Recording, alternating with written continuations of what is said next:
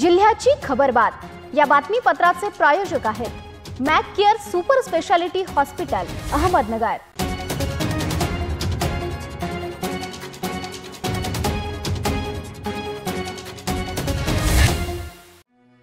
नमस्कार मी ज्योती. आपण पाहताय न्यूज ट्वेंटी फोर सह्याद्री. जिल्ह्याची खबरबात या बातमीपत्रात तुमचं स्वागत. पाहूयात अहमदनगर जिल्ह्यातील महत्त्वपूर्ण घडामोडी.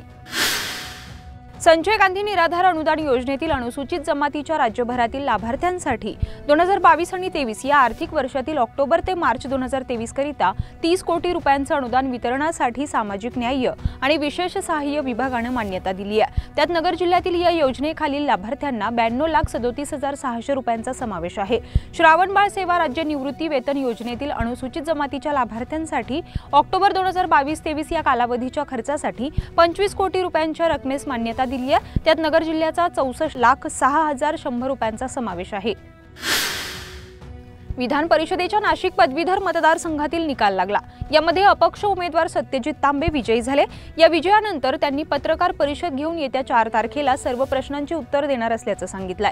अजित पवार काय बोलले हे मला माहिती नाहीये. तर सर्व मतदार बंधू आणि भगिनींचा मी आभार मानतो असं देखील सत्यजित तांबे यांनी म्हटलंय. तसेच उत्तर महाराष्ट्रातील तरुणांसाठी मी काय करणार असल्याचं तांबे यांनी सांगितलंय. मी ऐकलं नाही अजितदादा काय बोलले कारण मी मतमोजणीच्याच याच्यामध्ये होतो. पण निश्चितच मी ऐकेल आणि चार तारखेला त्याचं उत्तर देईल. परंतु अनेक लोकांचे मला फोन आता अभिनंदनाचे येत आहेत आणि मी त्यांचे सगळ्यांचे आभार मानतो आणि निश्चितच येणाऱ्या काळात मी सगळ्यांना भेटून त्यांचे व्यक्तिशा देखील मी आभार मानेन. राज्याच्या आदर्श गाव योजनेचे कार्याध्यक्ष पद्मश्री पोपटराव पवार यांना नुकतीच राहुरी येथील महात्मा फुले कृषी विद्यापीठाच्या वतीनं डॉक्टर ऑफ सायन्स पदवी मिळाल्याबद्दल आदर्श गाव हिवरे बाजार येथील ज्येष्ठ नागरिक वाचन कट्टातर्फे शाल श्रीफळ आणि फेटा बांधून सत्कार करण्यात आला. यावेळी गावातील ज्येष्ठ नागरिकांच्या जुन्या आठवणींना उजाळा देण्यात आला तसेच हिवरे बाजारमधील विकास कामांबद्दल सविस्तर चर्चा करण्यात आली. यावेळी ज्येष्ठ नागरिक हरिभाऊ ठाणगे माजी सरपंच अर्जुन पवार माजी चेअरमन बापूराव बांगर हैबती ठाणगे लक्ष्मणराव पवार दामोदर ठाणगे बाबासाहेब ठाणगे आदी जण उपस्थित होते. कोपरगाव शहर पोलीस ठाण्याच्या वाहतूक शाखेकडून गत वर्षभरात आठ हजारांपेक्षा जास्त वाहनांवर कारवाई करून एक्केचाळीस लाखांपेक्षा अधिक दंड ठोठावण्यात आलाय. त्यामध्ये यापुढेही शहर पोलीस ठाण्याच्या हद्दीत शासनाने घालून दिलेल्या नियमांना बगल देत रस्त्यात वाहने चालवणाऱ्या वाहनधारकांवर कारवाई सुरूच राहणार असल्याचं पोलीस प्रशासनाकडून सांगण्यात आलंय. केंद्र सरकारने नुकताच अर्थसंकल्प जाहीर केला यानंतर राज्यात उलटसुलट चर्चांना उधाण आलंय. त्याचंच शेतकऱ्यांनी जे कधी मागितलं नाही ते अर्थसंकल्पात मंजूर झालं असल्याची टीका शेतकरी नेते डॉक्टर अजित नवले यांनी केली आहे. अहमदनगरच्या संगमनेरमध्ये पत्रकारांशी बोलताना त्यांनी शेतकऱ्यांची ही अवहेलना असल्याची टीका केंद्र सरकारवर केली आहे. शेतीमालाला रास्त भाव मिळेल विशेषतः सोयाबीन कापूस ऊस यांना चांगला भाव मिळेल दुधाला एफ आर पीचं संरक्षण मिळेल. यासाठी काही ठोस योजना आणण्याची गरज होती त्या आणायच्या नाहीत. आणि दुसरीकडे मात्र नैसर्गिक शेतीचा मोठा गाजावाजा करायचा अशा प्रकारचं नॅरेटिव्ह बदलवण्याचं धोरण हे मोदी सरकारने या अर्थसंकल्पामध्ये केलेलं आहे. जिल्ह्याची खबरबातमध्ये घेऊयात एक छोटीशी विश्रांती.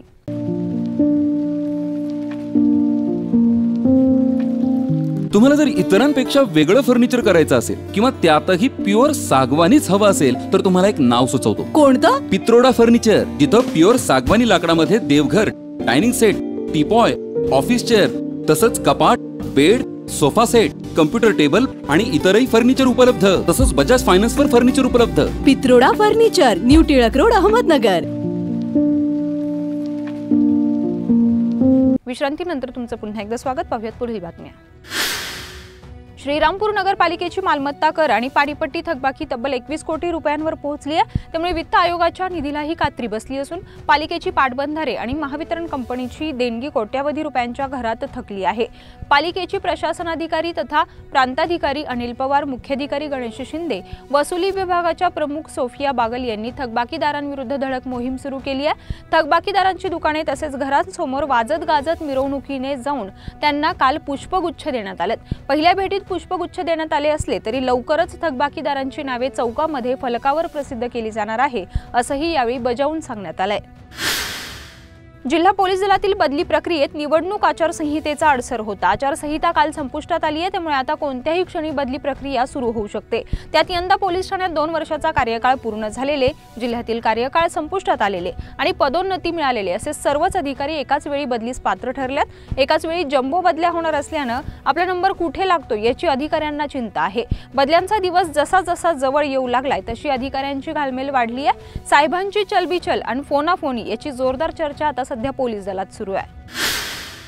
विधान परिषदेच्या नाशिक पदवीधर मतदारसंघातील निकाल लागला. यामध्ये अपक्ष उमेदवार सत्यजित तांबे विजयी झाले असले तरी या निवडणुकीच्या निमित्तानं सुरू झालेल्या नाट्यांवर संपूर्ण पडदा पडलेला नाही.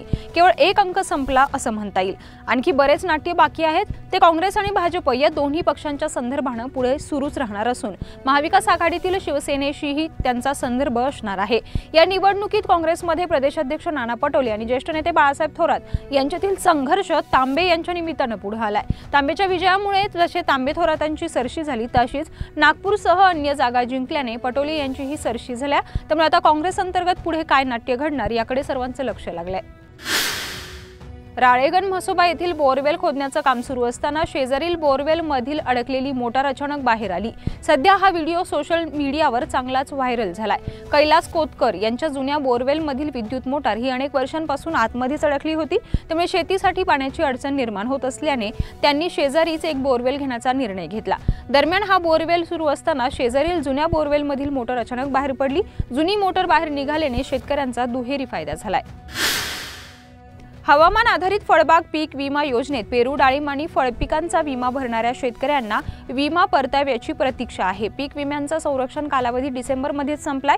यावर्षी खंड आणि दुसऱ्या टप्प्यात जास्त पाऊस. अशा दोन ट्रिगरमध्ये पात्र होत असल्याने राहता तालुक्यातील बहुतांश मंडळातील शेतकऱ्यांना फळबागाचे भरीव विमा परतावे मिळण्याची शक्यता व्यक्त केली जाते या बातम्यांसह जिल्ह्याची खबरबातमध्ये इथेच थांबतोय. मात्र तुम्ही पाहत राहा न्यूज ट्वेंटी फोर सह्याद्री.